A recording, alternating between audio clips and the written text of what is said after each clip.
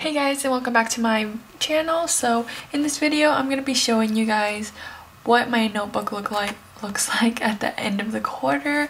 Um, I have midterms coming up next week so I just kind of wanted to show you guys this before I empty out, you know, have spring break and then you know, show you guys what it looks like when I started. So um, I just started this method of using the five star binder notebook thing and I kind of love it. I'm so glad I found this out. But basically, um, I just like to keep everything together. So I like everything in one, like contained in one spot just because it's just easier.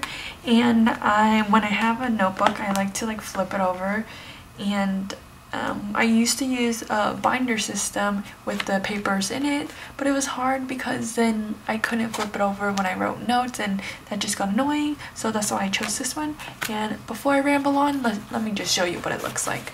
So it's like stuff full right now. It's crazy. I had to add more paper because I was running out of like note pages. So in the front, it I just have like some index cards. I never even used it this quarter, but so in the front I have all my syllabuses for every class. I just like to have it on hand just because sometimes you have to look through stuff. And um, I'm going to do a video of how I write out my syllabus and stuff. I already have it on my Instagram. It's kind of far back though, but I took pictures showing everybody how I did this and I got a lot of good feedback on it so I'll just do a video to show you guys.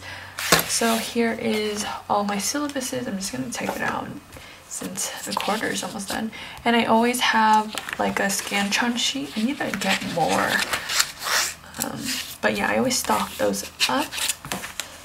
And then onto the second page, it's, um, I don't know why I didn't start this one. Okay, I guess this is nothing.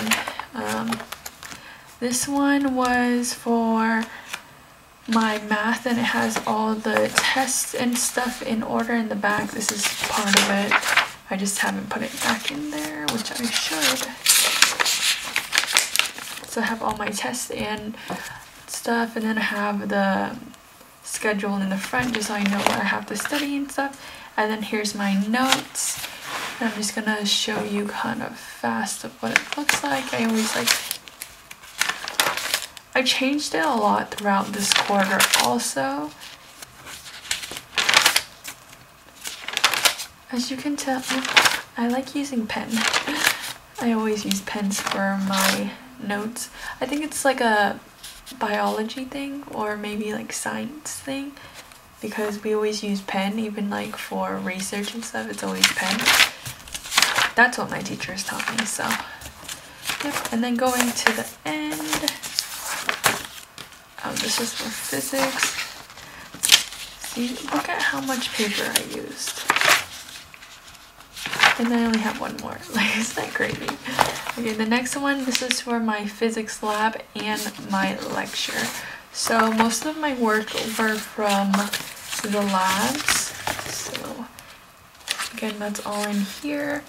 I'm just gonna keep this in here because it's just, um, I use this for studying also. And then again, here is what my notes look like. I have like random stuff back here, so.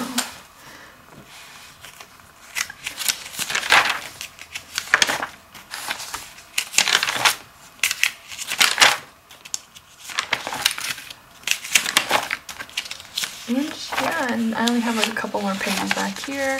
And then these stuff in the these graph papers are just left over from last quarter when I had it in my binder, so I kind of doodled in it. But yeah, that is what my binder slash notebook looks like at the end of the quarter. And now I have to go study. So uh, I hope you guys enjoyed this video. Give me a thumbs up if you do. I hope you guys have a great rest of the quarter or semesters. Good luck on your tests and quizzes and stuff. And I'll see you guys next time. Bye